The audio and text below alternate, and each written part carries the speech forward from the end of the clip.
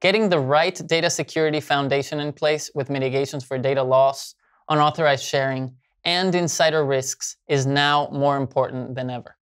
especially as the volume of data inside your organization continues to grow, along with the need to access it. Today, I'll show you a better way with the combination of Microsoft Fabric, a single data and analytics platform to help you optimize the quality of data inside your organization and unify access for the people and workloads that need it,